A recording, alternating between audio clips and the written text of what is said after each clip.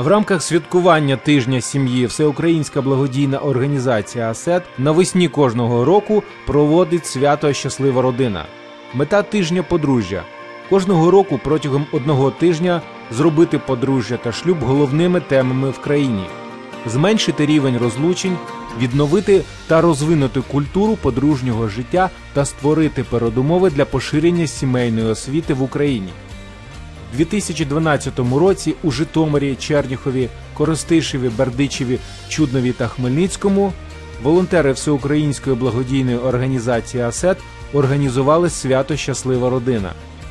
Під час святкування тижня подружжя відбулись масові поради щасливих сімей, які крокували центральними вулицями міста, щоб довести українцям, що щаслива родина це не випадковість.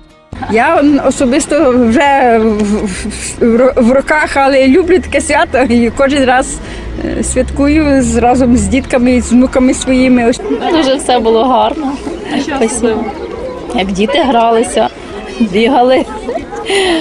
Ну, все сподобалось. На високому рівні Да. пройшло це свято. Дуже. Молодці, молодці. молодці. Адміністрація вся. От, і те саме, і розвага як і для дорослих, і для бабушек, і для, для Так. молоді, і для дітей. Свято дуже, дуже, гарно, вдалося, дуже, вдалося. Ну, Сподобалось те, що дітям є як провести час, і різне різноманіття сподобалось.